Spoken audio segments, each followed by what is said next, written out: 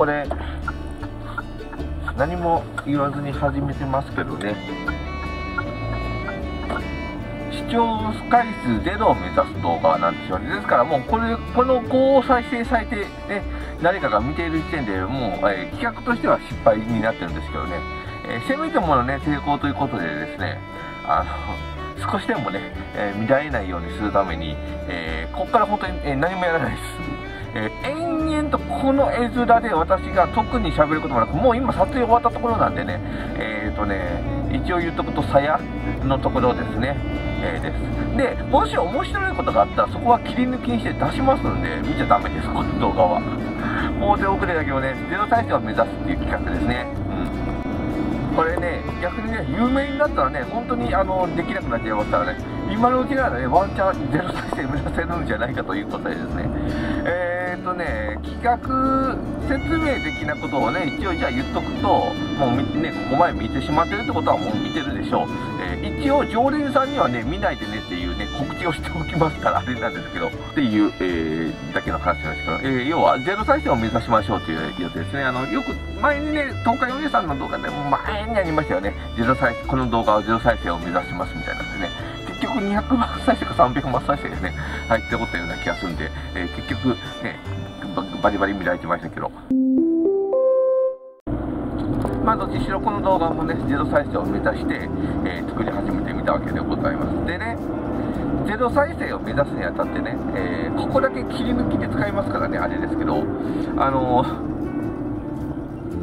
じゃあ再生数ゼロをね、えー、目指すにあたって、ね、何が必要なのかって言ったら、え、とにかく興味をそそらないように作らないといけません。で、逆にね、あの、ゼロ再生を目指しますみたいなことを書くと、逆に面白がってね、見ちゃう人がいるんで、これ本当にゼロを目指せないと。あの、あれですからね、それをつで釣って、いやいや、こんなにも目立っちゃいましたよってするための企画じゃないんで、本当にゼロを目指すっていう企画なんでね。えー、で、えー、いうね、えー、ところとかを考えてやるとですよ。うん。まず未来なくするためにしないといけないのが、えーと、検索に引っかかりにくくするっていうことなんですね。ですので、この、えー、動画のタイトル、えー、もう、むちゃくちゃな、えー、多分タイトルがついてると思います。えそれはそういう理由です。えゼロ再生を目指すために、ゼロ再生を目指しますって書いちゃうと、見られちゃうんで、ね、えー、冷やかしになっちゃいますからね。いや、来ないかもしれませんけどね。そのために、まず、えー、タイトルをむちゃくちゃにするっていうことで、これで検索に引っかかりにくい。えー、なんだろなんか、えー、わけのわからない記号だけにしときましょうか。うん。ね、パロプンテみたいな感じにしときましょうか。でも、パロプンテって入れるとなんか検索に引っかかってしまいそうなんで、えー、もう意味のない言葉を入れときましょう。ね。で、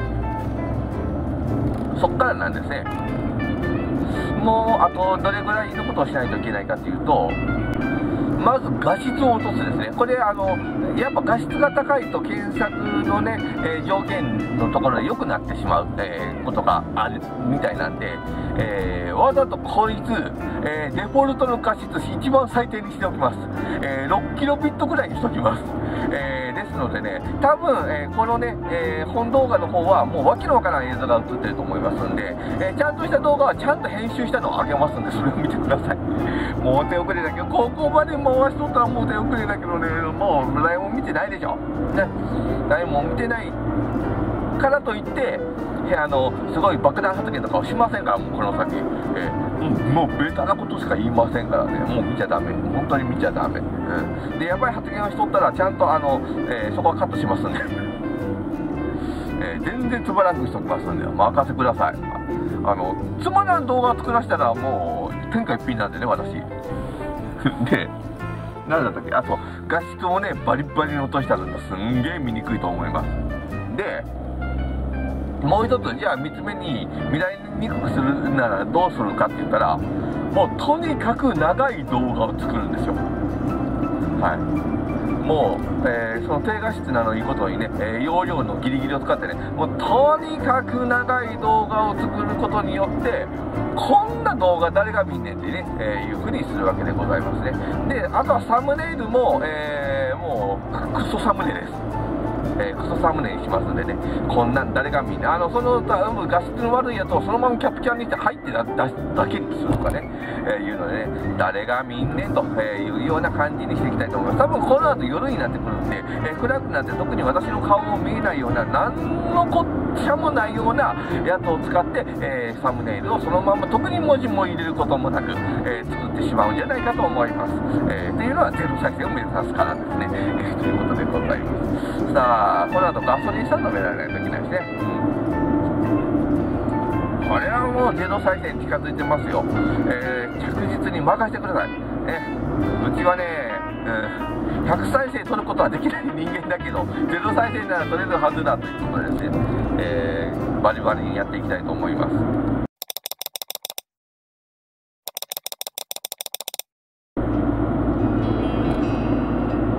あの可能な限りの寄り道できますからね、あとね、合間にね、あのわけのわからんあの映像をバリバリ挟んできますんで、えー、はい、任せください、低画質で行くんだったら、あのうちのね、あのところのやつでも、あの大丈夫です。あのこんな長い時間、長い時間ですとね、編集、あのエンコードかけようと思うと案外大変なんですよね。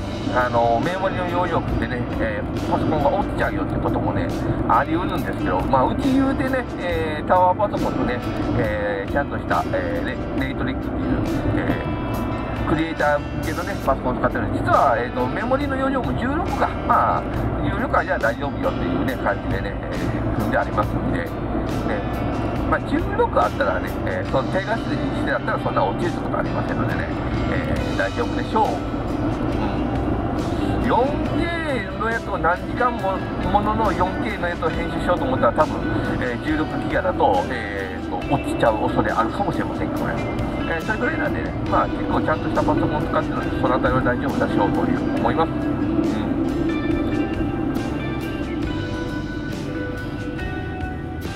いや、西日眩しいな眩しいのよ、これ。うん。ちょうどこれをね、あの、日陰代わりにしてますけどね、あの、バックミラーを。うん。ちょうどほら、目のところが隠れてる。あ、ダメだ。これは面白いぞ。この絵は面白いね。これサムネイルにしたらちょっと面白そうじゃないですか。ダメですね。面白いの、あのインフレじゃないつまらないのインフレが起こってますからねこれで面白いと思えてきてしまうから怖いなつまらなくしないといけないからなこれ大変だああ大変だあつまらないのを作るっていうのもこれはまたあの大変ですからねえー、えー、何せねつまらないと難しくてね自分がじゃあ苦しめばいいのかと思えばねあの、人の苦しんでる姿を見るって、それはそれで楽しいんですよね。水曜どうでしょうなんてまさにそれですよね。えー、大泉洋さんがね、えー、株に乗ってね、お尻が乱風体になる姿を見るのが面白いという、えー、この、え理論がありますね。まあ、東海オンエアさんもそうですしね。えある意味でね、そういうところがありますからね。さあ、っていうことなんでね、中途半端なことしかできないんだ。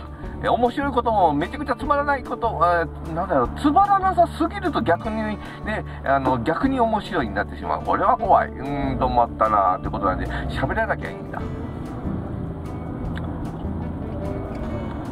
喋ってると見ちゃいますもんね。うわー、多度代謝か。無理か。めっちゃ混んでるじゃん。落としてないけど。うわーなんだこの渋滞。あでもこれ多分和牛の入り口のところ結局ダメなんだろうなこれ中庭のところだもんな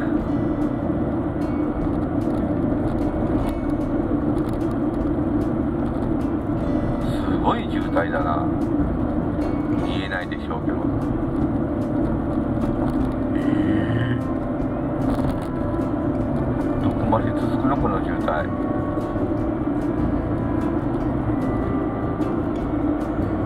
え？これ切れてないんだ。まだ先なんだ。え？え？え？ここ？ここまで？うわ長っ。こんなん。日暮れるでリアルに。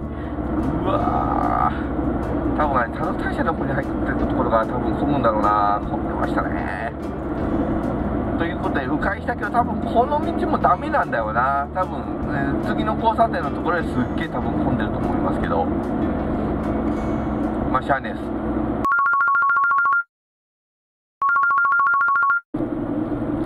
ここは抜け道がないですからね道中快適なんですけどね交差点がいかんせん積むんだね、命的に積むんだよね。うん。なぜならあのでかい橋がねかかってるところにないとどうしても渡れないんで、えー、抜け道の布の字もないですからね。木曽山線は。さあなのでねとにかくそこに着くまでは快適に来ます、えこの国道1号線で4キロで国道1号線で入れるんですけどそこまでは本当快適に着きます、えー、その先は地獄なんです。なんかいい抜け道ないのかねここは。作りようがないもんな抜け道中島の集落抜けできないのかな無理だろうな。だって橋がないもんね。うん。一応この辺り長島集落があったりしますけどバージュの里とかがあったりするとこら辺なんですけどうん。本当に輪になっちゃっててね、えー、抜けようがない。結局1号線ぶつかるしかないですからね。じゃあもうおとなしく中手の方のが T 字路になってるんでまだ多少ね、えー、進みますんで。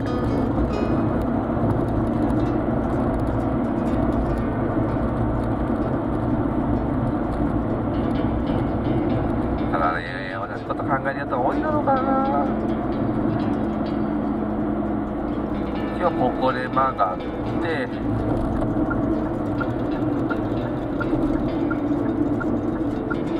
あじゃねこれ中庭の人って手前か。間違えた間違えた中庭はもう一つ先だ。うん。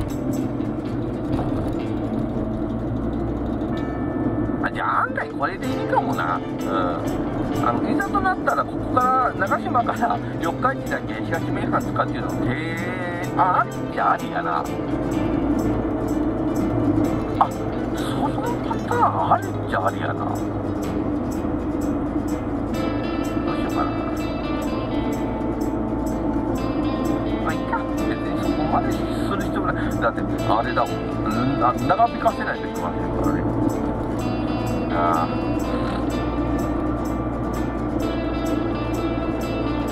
れと前を店舗移したらねあの編集をねちょっといろいろと入れないといけなくなるだろうっていうのとあれです、えー、ちょっとね前全面店舗の方のがねやっぱり需要がありそうなんでね、えー、おっさんの顔の方が需要ないだろうということでですねこっちで行きますからね。なんだこの西日に照らされたおっさんの顔を延々と。させられる画像いいんですがここでねスクロールして今ここをポンって飛ばした方がいるで、えー、見た方がいるかもしれませんけどゼロを目指すかそもそも誰も見てないという前提ですけど。うん。やめといた方がいいですよ。もう先見ない方がいいと思いますよ。もう予定調和分かってますからねこれ。うん。だって面白いところがあったらカットするんだもん。今回の動画は眩しい眩しいはあこういう時は雑魚が高いといいですよね。ここギリギリですけど。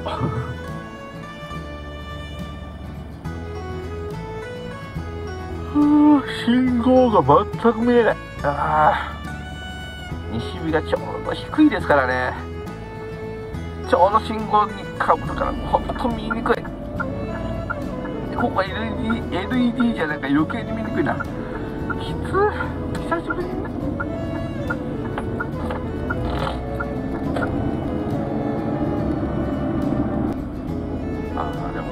飯の時間か。どうしような夕飯。でも冬のナバーの里はこの時間でも知らないですからね、イルミネーションが有名ですからね。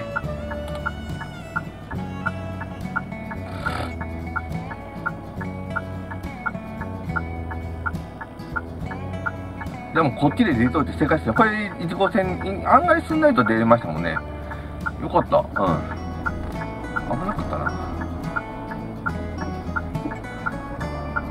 で正解でしたね。まあただこっちはこっちで結局あの橋のところで混みそうな気はするけどな。富山風結局どっかで混みますからね。けようがないでしょ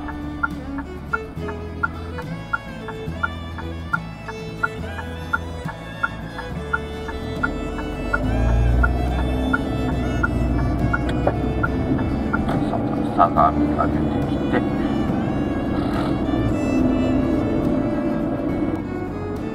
バスからあるここにですな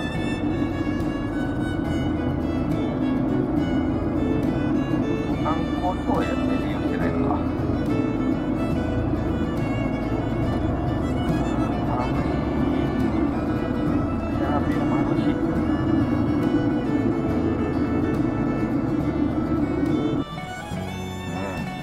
ガラスが汚れてんな。洗車場がすっげえ混んどってね。結局使えなかったんですからね。あでそっかここにあのはえー、何だっけ。旗小屋か。旗小屋。ここにあるんでしたね、まあ、この時期は多分高いでしょうけどね。なんも見えねえ。まぶしい。来てないよね。やべえそんな時間に運転するもんじゃねえな。本当に。ちょうど真後ろになってるんですよね。太陽光。う信号多分大丈夫かね。言ってますけど。一応直前まで見えとったんでまあ青で問題なさそうですね。シューク一言ずつ来てますいやねこの先にもねこのね橋のど真ん中にありますからねここ。よいしょ。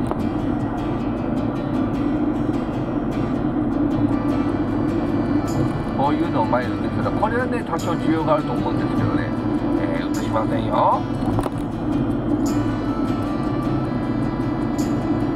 このまま後ろにおー危ねえー、っと黄色になったね。あなったなったなったおお黄色がほんと保護色西日と保護色でなんもわから、ん、さあってことでどれぐらい見にくいかだけね。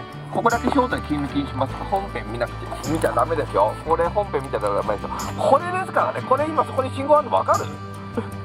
ここね。見えねえっつうのこれきつあの画面越しの方が見やすいわ。ってことでこういう風にしてね交差点になってるっていうね。橋のど真ん中にあるっていう交差点ですね。えー、ちなみに、えー、昼間は右折禁止ですんでね、えー、右折するやついたらね、ふざけんなボケなんですけども、いや、変わったね、顔、なんも見えねえ、うん、あしかも前にしたまんまやし、あーだだだだ。でも、あー、こ意外とここまで来れたな、なんとか来れたな。で、この先のところも右折禁止になってますからね。うん橋もね、なんか掛け替えをするとかあって話かなんかまあ、なんかで通った気がするんだけど、結局全然あれですよね。うん。今日まだ開いてねえんだ。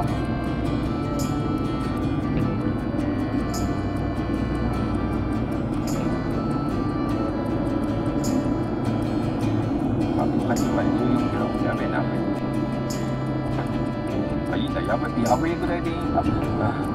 あただもうちょっと時間使わんとなどうしたな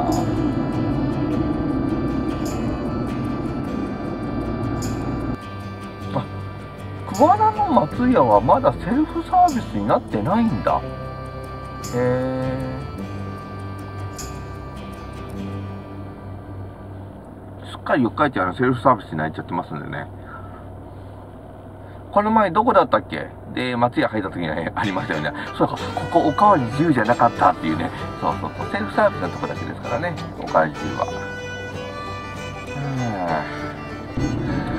入るなら今の時間ですよね。ここから先、どんどん混んでくる時間になってますから。今4時半。うん、ですからね。入るなら今の時間だな。ふぅ、早っ。カツヤはやってんだね。コイチもやってるな。ああ、川根ラーメンは閉まってるだろうな、ここは。個人だからね。個人のところは三が日はね、や、休んで、そこは休んでって思いますからね。